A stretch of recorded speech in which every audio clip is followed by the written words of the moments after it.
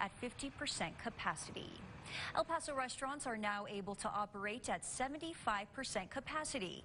KTSM 9 News reporter Shelby Cap explains that for some restaurants, it is still a challenge. Lucy's Cafe is usually busy, some people even waiting for a table, with many customers utilizing the outside dining space.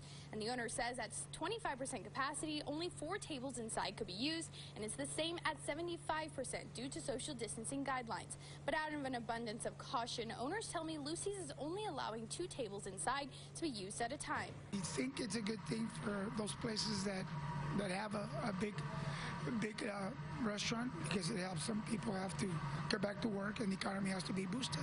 Mayor Dee Margo says he thinks El Paso is ready for this phase of reopening. Going by the numbers that we've been receiving and the information I've been receiving from our public health department think we're kind of uh, plateauing to a certain extent. As we reported back in May, Governor Greg Abbott allowed El Paso an exemption from reopening with the rest of Texas. El Paso was delayed for one week during phase two of reopenings, but now all businesses are allowed to operate with the same capacity as other counties in Texas. Shelby Cap, KTSM 9 News. Well, Cathedral High